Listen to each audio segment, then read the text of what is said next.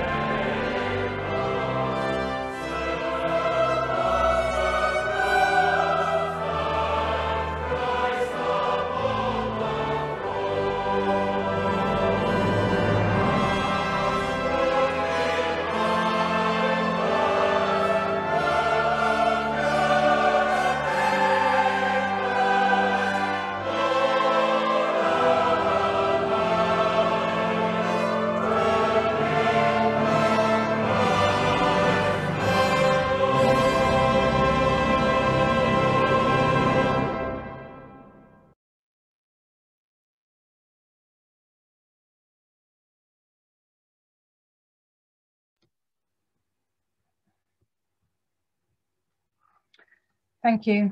Sorry, that was a bit glitchy at the beginning for some of you.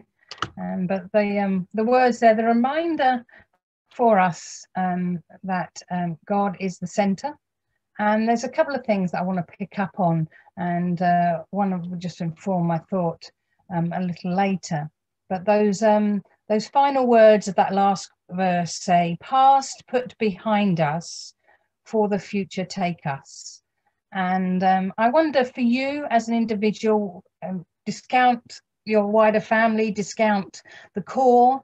Um, but as you hit this new year, and uh, um, I wonder for you um, what there is of the past you put behind you, and uh, what of the future that you want to take um, God into the future with you. just thoughts for you. Um, we're going to share in just a moment in a, a, a, vid a video of a prayer uh, for the new year and um, the opportunity just to sit and reflect for ourselves primarily. Um, perhaps it's not something we do. We perhaps run around and consider everybody else, um, but don't think about others so much.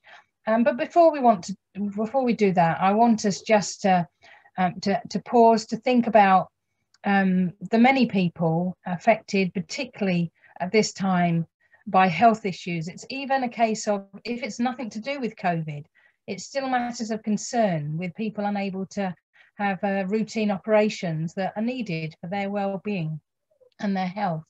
The, um, the fear of even going to a doctor's surgery where you might be in contact with people with COVID. Just everything is made more difficult um, with our health. And uh, of course, we want to take time to consider people in our own fellowship. And we think particularly of uh, Susan Tucker, who's, who's struggling uh, with the effects of COVID and um, and just uh, an infection as well. And just we know just how um, any any in health, ill health brings us down. And there'll be many fighting the everyday um, ill health, and we think of them. And there's some of us here on this Zoom that are, are concerned about health matters. Um, and then we, some of you will have picked up on Facebook um, just not long ago that uh, Christine Dart has had a very sudden bereavement um, in her family.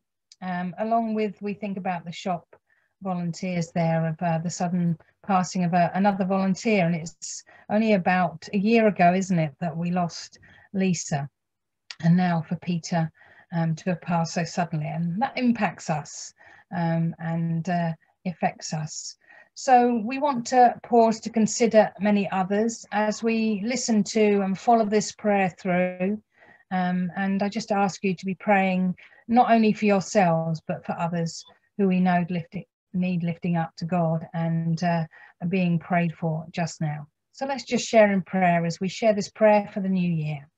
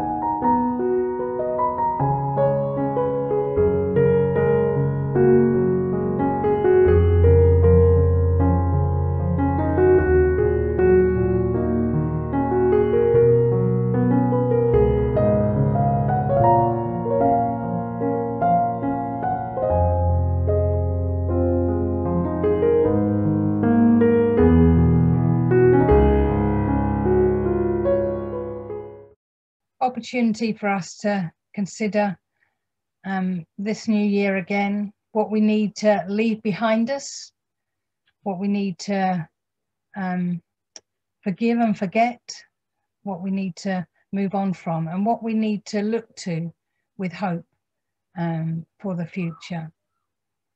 So let's just share a prayer for ourselves, for our corps, for our, our family, our friends, and the wider world just now. Let's pray.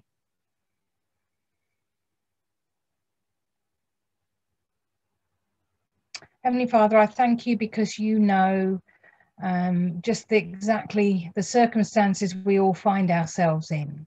You know that this world has been turned upside down in these last months, and it continues to be in a state of um, brokenness, I guess. Um, and I and I I ask that through this that we will continue to see something of you for ourselves, that we would um, be continually helped to put things life into perspective, um, that we will be reminded of the things that are most important to us. Father, help us to cope with the very practical things, the challenges that come our way, and that as we um, continue to take each day as it comes, that you watch over us, that you place your hand of protection on us. Father, we want to pray for those of our fellowship struggling with health issues. Um, some will be related to COVID, some uh, long term health challenges, others just new things going on. Father, I pray that each one will receive the medical attention that they need. But in the time of perhaps waiting and frustration, that you would um, give them patience and, and help them to endure what they need to go through. Father, we thank you in these days for those four words that we repeated over and over again through Advent. But we thank you because of the joy that we know because of you, the hope that we have, the love and the peace that can surround us when we just sit in your presence and we reach out to you. So, Father, just in these few moments that we spend together this day, um, may you bring that each to us. We ask in Jesus' name. Amen.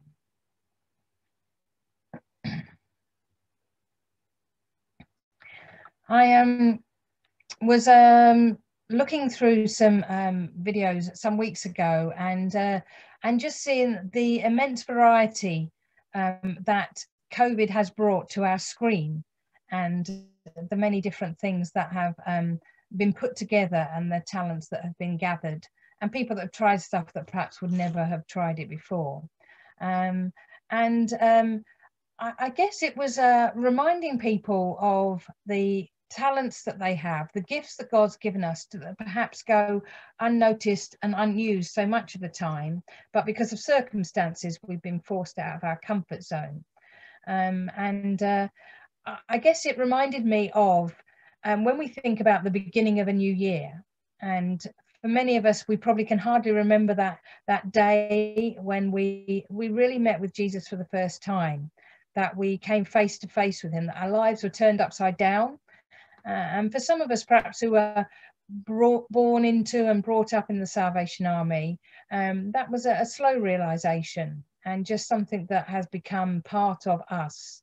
Um, but um, we don't, I just want us to listen to um, uh, the Melbourne Staff Band playing um, What a Wonderful Day, and just to remind us that in the midst of everything, just of the wonderful um, opportunity that we've had and uh, the presence of God in each of our lives. Just enjoy this.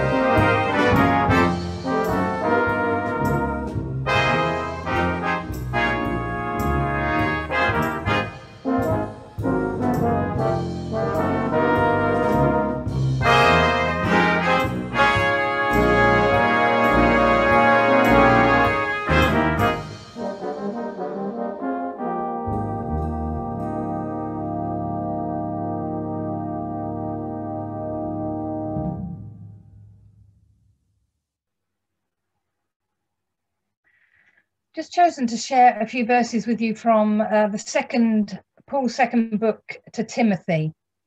And um, just before I share it with you, I'm reading from the Good News Bible um, today. Um, but just let me share with you with just the, the um, introduction um, that it says on this um, very short letter. Paul's second letter to Timothy consists largely of personal advice to Timothy as a younger colleague and assistant. The main theme is endurance. Timothy is advised and encouraged to keep on witnessing faithfully to Jesus Christ, to hold to the true teaching of the good news of the Old Testament, and to do his duty as teacher and evangelist, all in the face of suffering and opposition. Um, and as I read that, I thought, well, Paul might have written it to Timothy, but I think um, is quite apt for any of us also in these days, particularly. I just want to read you a few verses from um, the third chapter, um, beginning at verse 10. So 2 Timothy chapter 3, verse 10 through the, to the end of the chapter. But you have followed my teaching, says Paul, my conduct and my purpose in life. You have observed my faith, my patience, my love, and my endurance, my persecutions and my sufferings. You know all that happened to me in Antioch, Iconium, and Lystra, the terrible persecutions I endured, but the Lord rescued me from them all.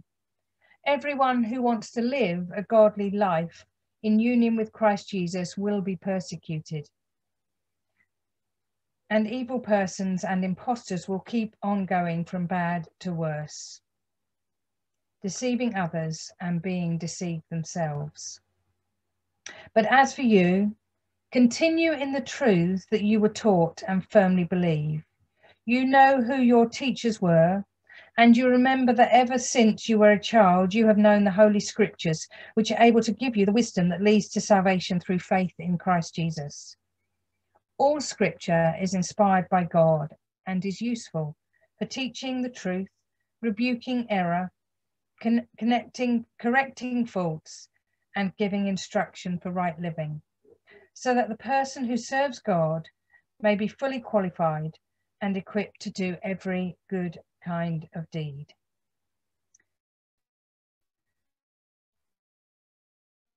Um, verses from many, many years ago, and uh, I'm sure you'll be.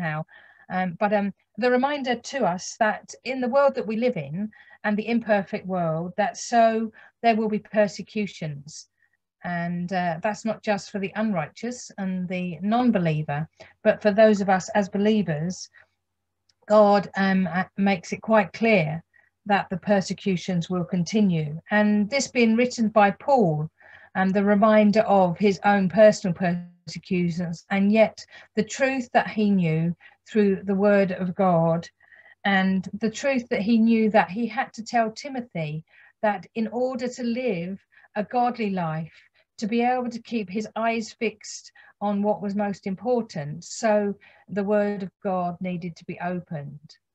Now, I have to say, I start many a new year with one of these I'm going to read through the Bible in a year hopes.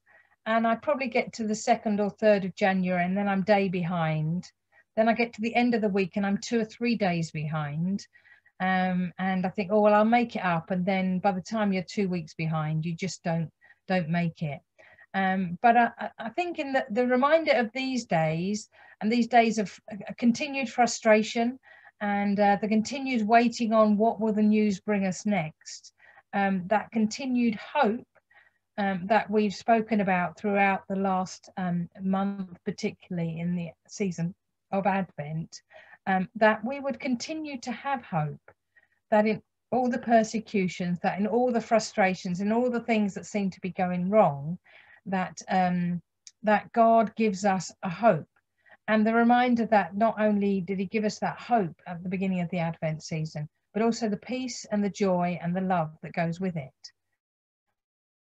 And I guess simply just as Paul was trying to remind his um, his apprentice uh, Timothy. Then the reminder for us um, with the frustration. Um, March of last year, we spent uh, the time thinking, well, it'll just be a couple of months, then we'll be back to normal. And then we realised that actually it wasn't going to be till the summer. And then as the summer happened, and we came back again, and so um, everything carried on. Um, and then it became apparent that we weren't going to celebrate Christmas together.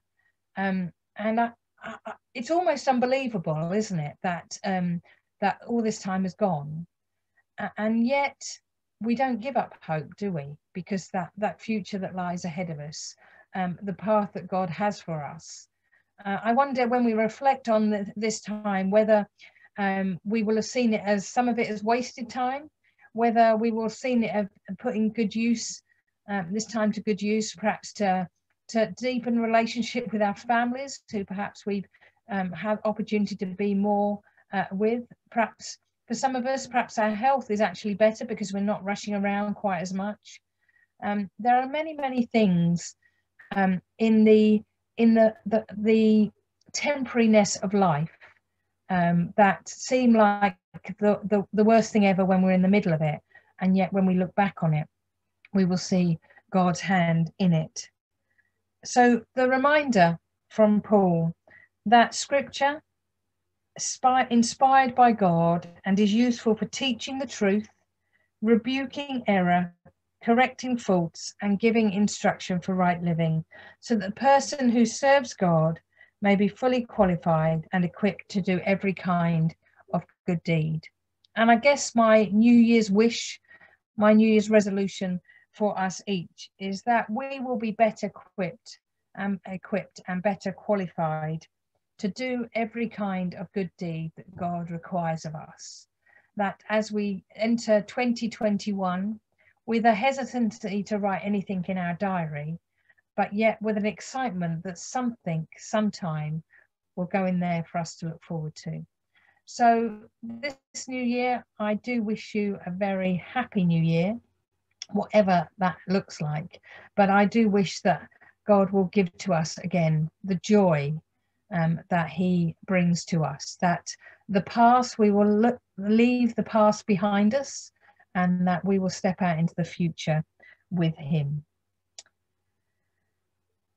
a final song together.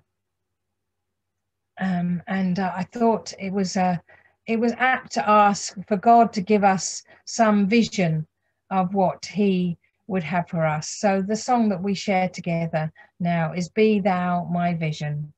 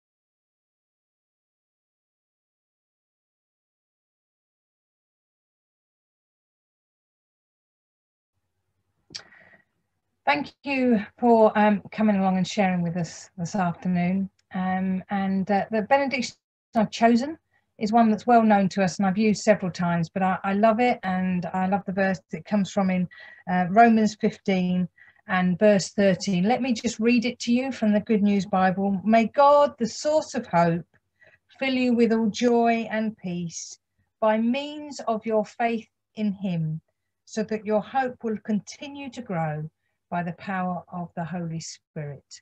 We will um, share in, the benediction. If you want to sing along, uh, please feel free. But uh, may the God of hope fill you with all joy and peace as you trust in him.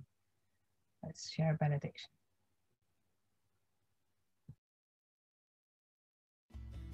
Here we go. May the God of hope fill you with all joy trust in Him, as you trust in Him.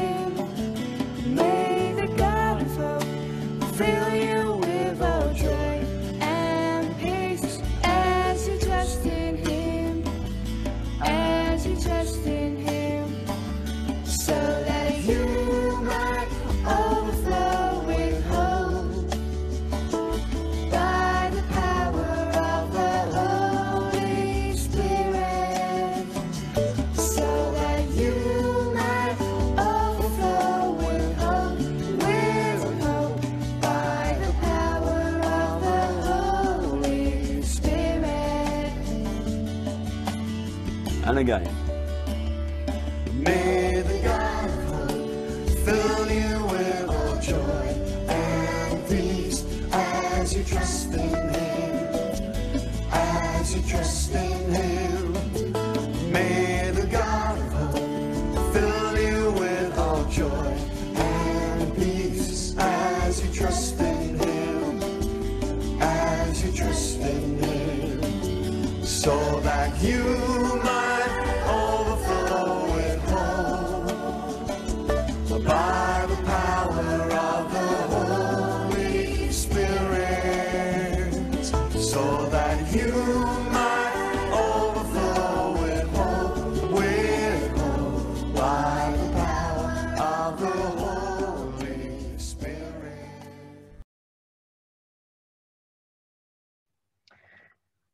God bless you each. Happy New Year.